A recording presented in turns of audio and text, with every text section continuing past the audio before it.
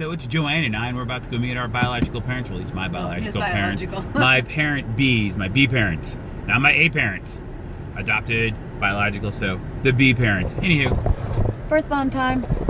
birth mom time, birth half sister, uh, half brother, uh, half And a bunch of father in law, I guess.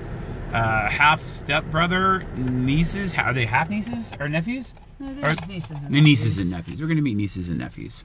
Anyway, so uh, wish us luck. I guess I don't know who would do that, but anyway, this is for posterity.